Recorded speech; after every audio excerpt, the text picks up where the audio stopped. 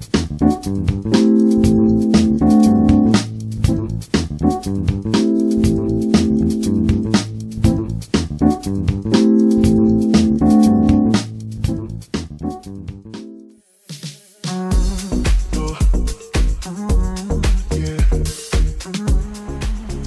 Bạn, mình đang có mặt tại Villa Shop và địa chỉ là 7 Tân Phước, phường 6, quận 10 và ở cái video clip ngày hôm nay mình sẽ tiến hành à, test cái khả năng trình chiếu à, văn bản của cái chiếc máy chiếu VPTech Qzumi Q5RD này trên màn chiếu xem coi à, nó sẽ như thế nào trong điều kiện à, nhiều ánh sáng. Ở đây mình có một cái chiếc máy chiếu à, uh, VVTech Qzumi Q5RD đã được kết nối và trình chiếu sẵn trên màn chiếu cùng uh, trong điều kiện ánh sáng đó là hai cái chiếc bóng đèn dài một tấc hai ở đây đó thì bây giờ mình sẽ tiến hành mở cái file văn bản uh, xem coi cái khả năng trình chiếu trong cái điều kiện ánh sáng như thế này thì cái chiếc máy chiếu này có rõ nét hay không đó.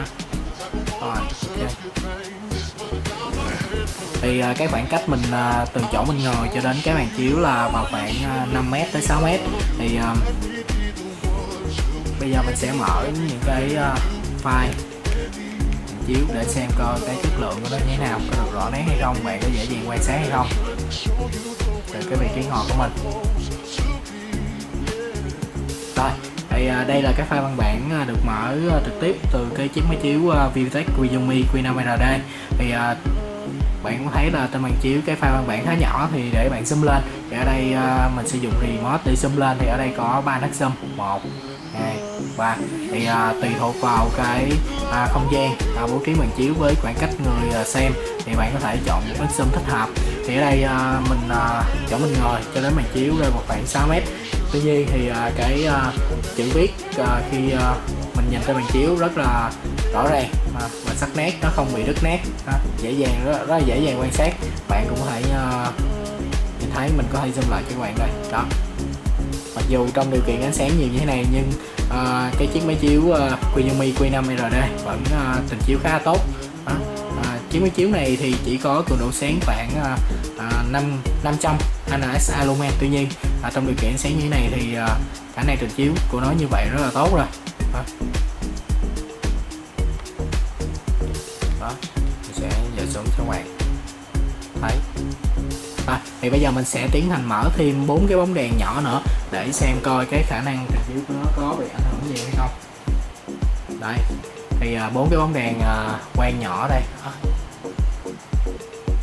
Thì à, đây là hình ảnh hiển thị trên màn chiếu của cái khai quật. Thì bạn thấy là nó cũng không ảnh hưởng gì mấy khi mở thêm bốn cái bóng đèn. Mặc dù trong cái điều kiện ánh sáng khá là nhiều như vậy nhưng cái uh, khả năng trình chiếu uh, file của cái chiếc máy chiếu Vivitech uh, ờ, Qzumi Q5 à, RD này uh, ờ, rất là tốt. Đó.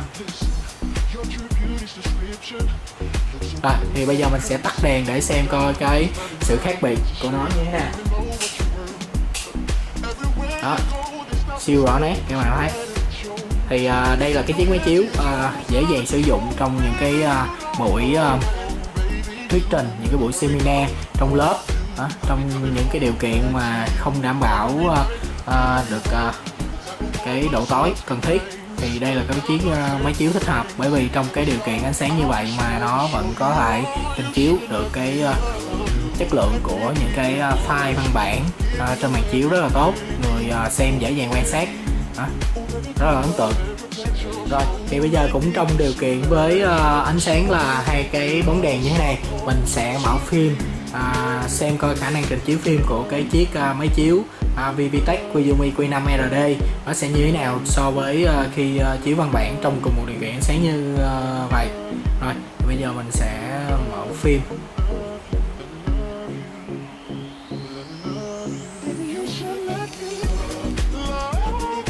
Có sự so sánh tốt hơn và trong cùng một điều kiện ánh sáng thì cái việc uh, sử dụng uh, chiếc máy chiếu này uh, nó sẽ như thế nào khi xem phim. Uh, và khi uh, ờ, trình duyệt văn bản.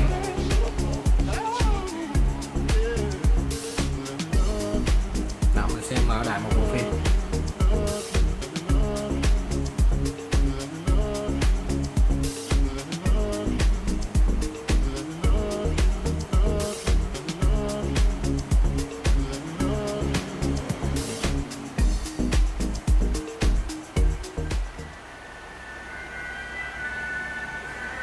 đó đã vào phim rồi tuy nhiên uh, có lẽ cái khả năng trình chiếu phim trong điều kiện ánh sáng nhiều như thế này nó sẽ không tốt đó. bởi vì cái cường độ của ánh sáng của nó ờ, không được cao chỉ rơi vào khoảng 500 INS lumen cho nên ờ, cái chiếc máy chiếu này nó chỉ thích hợp xem phim trong cái điều kiện đủ tối để có thể đảm bảo được cái chất lượng tốt nhất đó.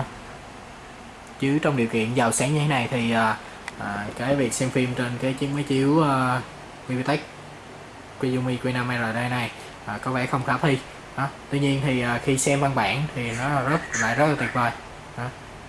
mình xem lại đó mình không thấy gì cả đó. rồi cảm ơn các bạn chào các bạn